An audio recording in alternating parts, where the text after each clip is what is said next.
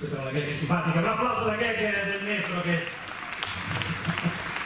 mesi e mesi a immaginare questa questa ce l'ha suggerita al sito eh, che vuole essere detto quindi fai un'altra gag la prossima eh, allora velocemente una spiega su che cosa no no non ti scherzi noi possiamo toglierla eh? vero? è che cioè, siamo congiunti ci siamo congiunti? Cioè, ci siamo lasciati una volta, siamo fatto schifo. Ah, no, eh, Bisogna congiungerci di più. No, intanto complimenti, non so chi, devo fare, chi dobbiamo farli per il bike in. Un applauso a chi ha avuto questa idea per fare io personalmente. Io sono un ciclista e anche in queste lezioni di tutto. Sì, sì, molto.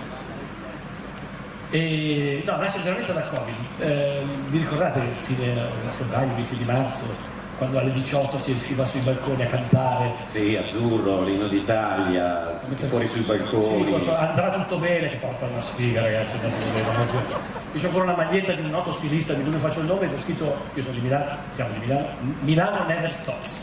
Il giorno dopo ho chiuso l'Europa, il mondo, ragazzi.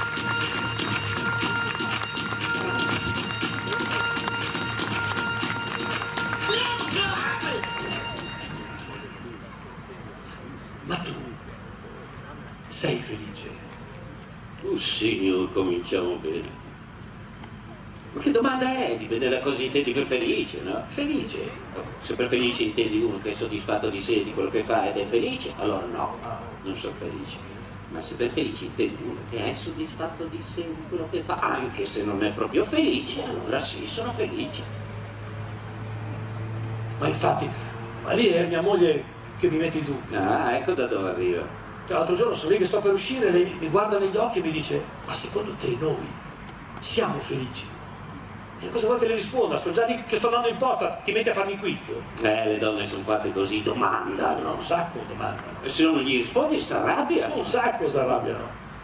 Ma, e poi ogni giorno ce n'è una, eh? Oggi è la felicità, l'altro giorno erano le camicie. Tra l'altro è bella perché su quel colletto particolare. Eh, cioè, oh, l'ho scelta apposta per il colletto, che ha anche un nome particolare. Sì.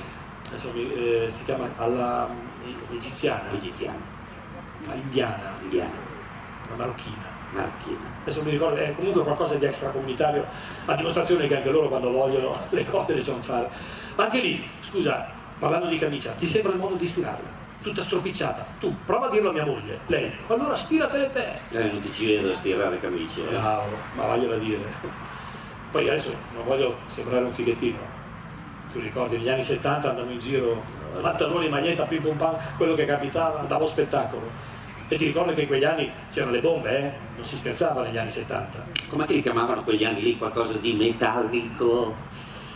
Anni di piombo. Piombo, bravissimo, non so perché mi viene sempre in mente zinco. Tu comunque dici che facevi un po' quello che volevi, no? Sì, negli anni 70. Ma sai qual è il problema oggi? Che non siamo più negli anni Eh, 70, purtroppo no. siamo nel 2000. E neanche 2001, 2002, 2003, 2004, 2005, 2006. Ma che arrivare a 20 è lunga, eh. ci sarei arrivato comunque. Siamo nel 2020, bravo. Nel 2020 non c'è niente da fare, c'è una sensibilità diversa. Bravo, mica come gli anni 70. E io vado in posta